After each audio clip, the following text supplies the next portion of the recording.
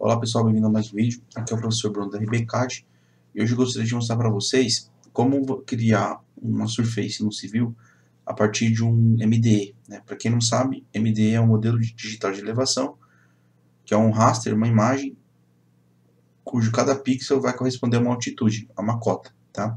Então, como exemplo aqui eu tenho um MDE retirado do Topodata, do Instituto Nacional de Pesquisas Espaciais, que é o INPE, que a resolução espacial é 30 metros, ou seja, quer dizer que o pixel, se eu pegar aqui a, a régua e medir, o pixel vai ter 30 metros aproximadamente, tá?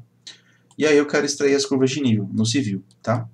Então como é que faz? Eu tenho que estar no formato TIFF, se a gente ver, ver, ver aqui em Downloads, ó, vai ver que o formato está em TIFF, né? É um arquivo bem pequeno, tá?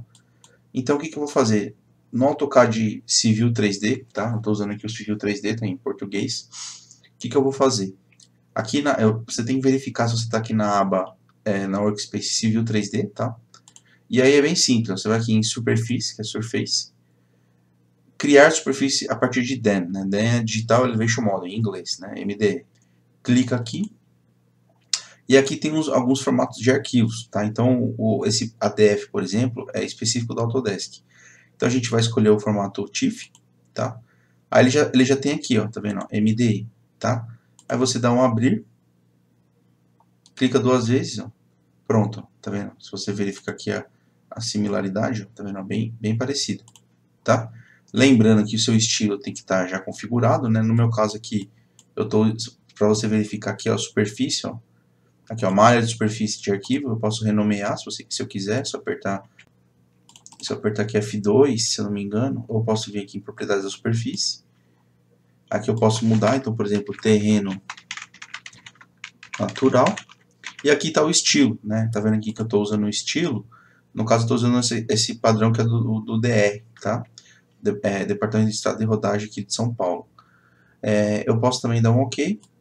Aí vamos supor que eu quero, eu quero colocar as curvas de nível de, de 25 e 25 metros, né? Então, eu posso vir aqui, ó, clicar nesse botão aqui para editar. Eu venho aqui em curvas de nível intervalos, tá vendo aqui? Ó? Então, a principal eu vou colocar, por exemplo, 50 metros, e a secundária cada 25, né? 25 e 50. Então, aplicar. Opa, cliquei em ajuda. Aplicar. Ok, aplicar.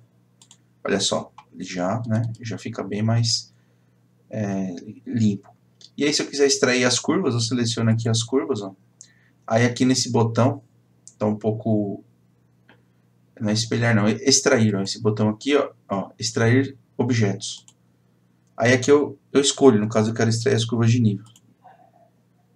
Pronto, as curvas de nível estão sobrepostas, tá vendo aqui, ó? Então eu vou pegar elas, vou pegar a curva mestra e a, e a secundária. Botão direito aqui, ó, isolar objeto ocultar. Então aqui é, aqui é a superfície, né? E tá aqui, certo? Então é isso, pessoal. Espero que vocês tenham gostado, tá? E até a próxima.